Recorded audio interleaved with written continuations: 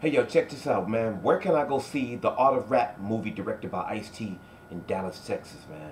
Picasso, I'm pulling them out. Please let me know. Real hip hop, baby.